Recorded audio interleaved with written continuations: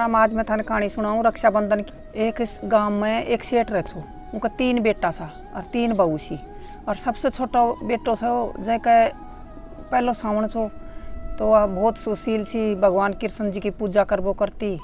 और सुबह काम करवा के लाग रही कि दोनों बहू रक्षाबंधन की तैयारी कर रही। वह जाके बोली, आज जी जी के काम से तो बहुत जल्दी उठी। क्यों काम जल्दी जल्दी कर रही छो बोल, तू के जाना है, रक्षाबंधन से? तेरा कोई भाई तो हाथ को ना। तू के जाना तेरा भाई रक्षाबंधन कैसी हो है तो वह नु कही तो वह जाकर कृष्ण भगवान की मूर्ति का गजार रोबा लागी। रोई खूब रोई। रो के बोले "ए भगवान कृष्ण जी मेरा भी कोई भाई होता तो मैं भी रक्षाबंधन करती और मैं भी जानती कोई रक्षाबंधन क्यों है तो वह चाक के चली गई।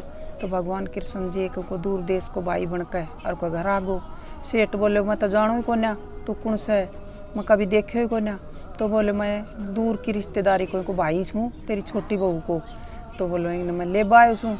सकर आज रक्षाबंधन खातर तड़का रक्षाबंधन से उन राज्य होगा सारा घर का खिंदा दिया, पर सेठ को बेटो बोले, मैं लेबा तो मैं ही आऊँगा, बोले इन्हें। ले तो जा, पर मैं लेबा मैं ही आऊँगा। वो कह दियो। लेकर चले गो रास्ता में बोली को, भाई, तू इतना दिन से तू कड़े छो?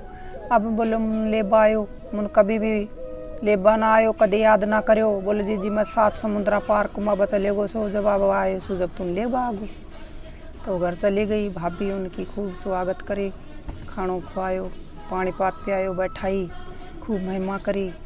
फिर दूसरे दिन अपने रक्षाबंधन मना लियो। कई दिन होगा रहता रहता, एक दिन सेठ को छोटो बेटो उन्हें लिया चले गयो।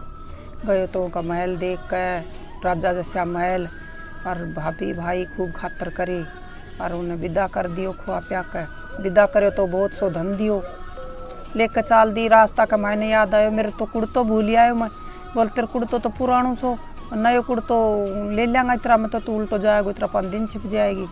बोलना मत ले आऊँगा मेरा कुर्ता कर लियो, अब दोनों जना जाकर वो कुड़तो लिया चला गया। उड़े देखे तो भाई, ना तोड़े महल, और ना कोई भाई, ना भाभी, और महल की जगह एक पीपड़ा को पेड़ पेड़ के मायने कुर्तो टकरियो। कुड़ता ने देख कर नु बोले तू या के कालो जादू करियो? मैं तो पहले ही शक कर लियो सो। असिया, भाई तेरो कोन्या। तो वह बोली कोन्या का मारवा लाग गो। भगवान कृष्ण जी तेज नी से, खूब ज़ोर की तेज से आर उतर के आयो और आकर हाथ पकड़ लियो। बोलिया, मेरी बहन से और हमेशा मेरे राखी बांधती आई से और हमेशा बांधेगी और मैं की रक्षा करूँगो। और खूब दोनों पैर पकड़ लिया, माफ़ी मांगी। तो ये भगवान कृष्ण जी, जैसे बिना भाई की भाण ने साथ दियो, जैसे सबने दिए, साथ खेता ने सुनता ने उखाड़ देता। राम